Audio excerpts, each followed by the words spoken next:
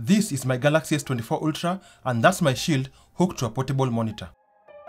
And yes, I'm mirroring the shield straight to my phone. Stick around to see how it's done and what other functions are possible.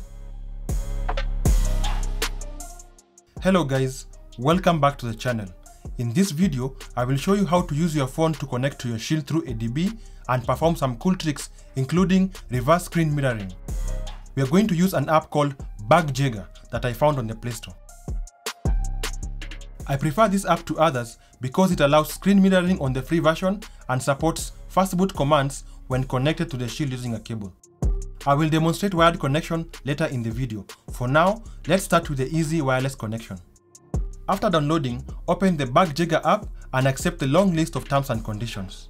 I feel this is necessary as the app is capable of performing ADB and fastboot functions which when not used right can actually break your shield. Once in the app, you will note that there are several tabs, each with different functions. Before we proceed, we will need to enable USB and wireless debugging on the shield. These settings are available under developer options. If you don't have developer options enabled, activate it by going to settings, device preferences, about, and tap build number 7 times.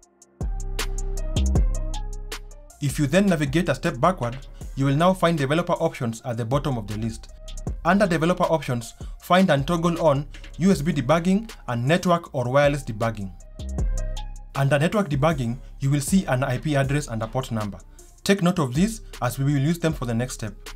Moving back to the phone, ensure that it is connected to the same Wi-Fi as your shield and then at the top right of the screen, click the plug icon with a plus sign next to it, input the IP address of your shield and click connect. A pop-up will now appear on your shield TV. Select always allow from this computer and click allow. Your shield is now connected to the app. Under the screen cap tab, tapping the video icon on the top right initiates screen mirroring. You can not only view the shield display but also interact with it using touch. You will need a paid version of the app to actually record on your phone and use the virtual remote accessible through the keyboard icon on the top left of the screen. Another useful feature is the Packages tab, which allows you to install, uninstall, enable, or disable apps on the Shield. Since this feature gives access to system apps as well, you need to be sure of what you uninstall or disable to avoid breaking your Shield. As you can see, side loading is as easy as selecting an APK from the phone and pushing it directly to the Shield TV.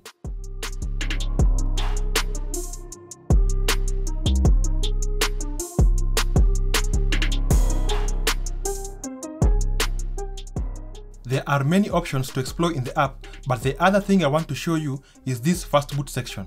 Yes, the app can not only send a command to boot the shield in bootloader mode, but also perform fast boot functions like flashing of images. However, when the shield is in fast boot mode, communication with the phone is only possible via wired connection. The existing wireless connection can only send the shield to fast boot or bootloader mode and that's it. Before we try the wired connection, if you are enjoying the video, please consider liking and subscribing to help me get to the 1000 sub milestone. I appreciate you guys. I have this DIY male-to-male USB cable and a USB-C OTG adapter to enable me connect my phone to the 2019 Shield Pro.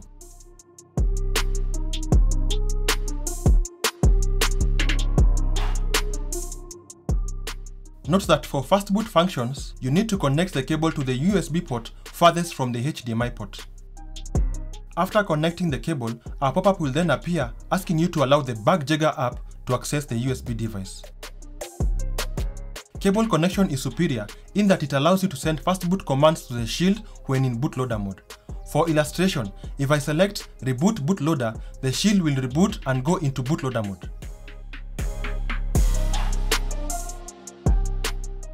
Another pop-up will then appear asking you to allow the app to access the fastboot device which is our shield.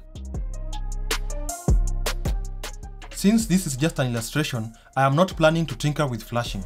So, the command fastboot reboot will restart the shield to normal mode. That's it guys, you can do a lot of things with this app including flashing of ROMs as it works for all connected Android devices. In this YouTube video for example, the BugJaeger app has been used to flash a custom ROM to another Android phone without using a PC. Share in the comments how you will use the functions in the app or if there's a better app than this. As always, I appreciate you for watching and if you haven't subscribed, please consider doing so. Cheers!